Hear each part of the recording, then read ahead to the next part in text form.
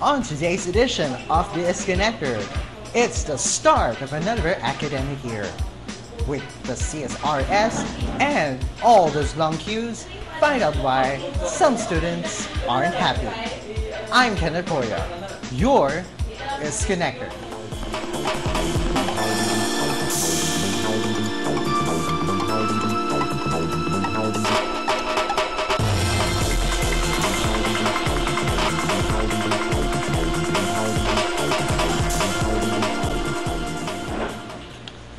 Welcome to a brand new ISKOnnector. What a better way to start the new year than to enroll? But how would you endure the long queues that go with it? That's right, people. In some cases, the university has been called UP, the University of PITA. You know, UPMIN has been infamous of the long queues that happened during registration, during checking of clearances, and listing of schedules, obtaining the registration form, aka Form 5, paying for the cashier, and getting your class cards. With that, my fellows from the BS Computer Science program had thought of a solution. Why not make everything online? And thus the CSRS was born. The Computerized Student Record System, CSRS for short, is part of UP Mindanao Integrated Information Management System, or the UP MIMS. It aims to integrate all the information databases of different parts of UP UPMIN, including the admin offices and the colleges. It's spearheaded by UPMIN's ITO, the Information Technology Office, and co-developed by BS Computer Science students. The CSRS aims to make the registration process simpler, faster, and more efficient.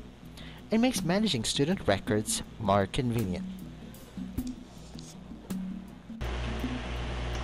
And surprisingly, it has lessened the queues that hampered UPMIN students for years. But with that benefit in mind, are the students happy about the new system? Let's ask them how they feel about it.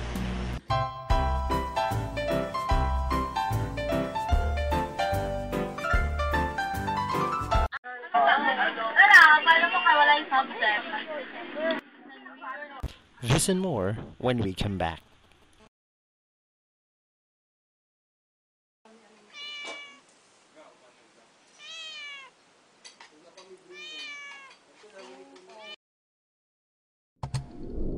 Welcome back. In such a small campus like UPMIN, it is of no doubt that there will be problems for both students listening for subjects and for teachers who will teach those subjects. A prevalent example here in UPMIN is dissolution of subjects. It can be a burden, especially for those irregular standing students. I interviewed two of them, and here's their saying.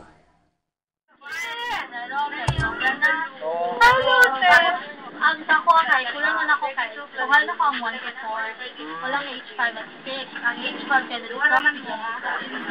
Nasaya ba? Ako ba rin na? Parang sa MSC 6, nagkakulat ko pero naging positive ko. Sobrang.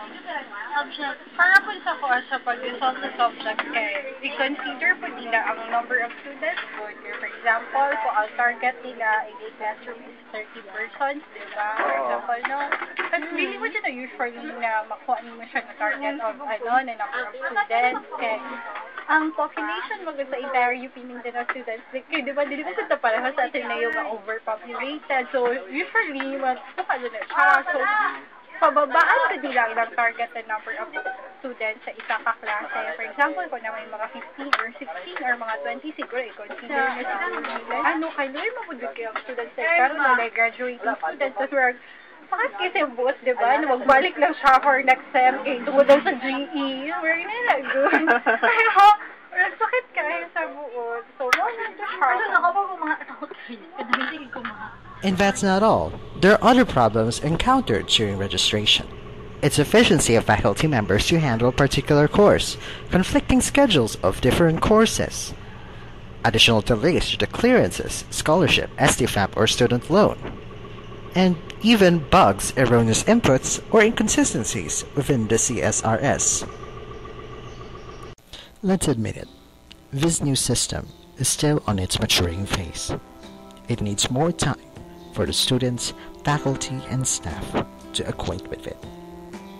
And what the administration needs now is to allow proper information to be given among them.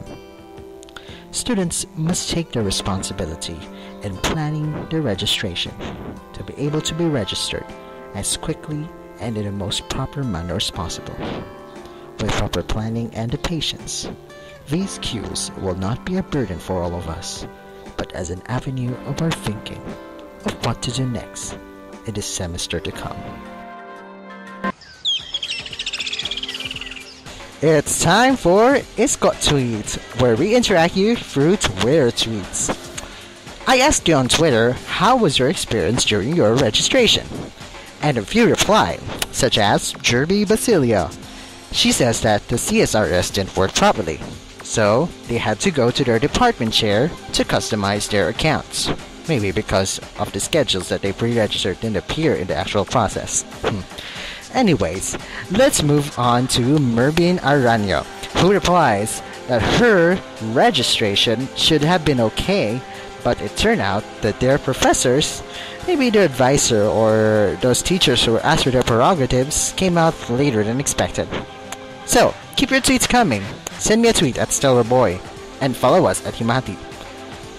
We live with your feedback, so we want to hear from you.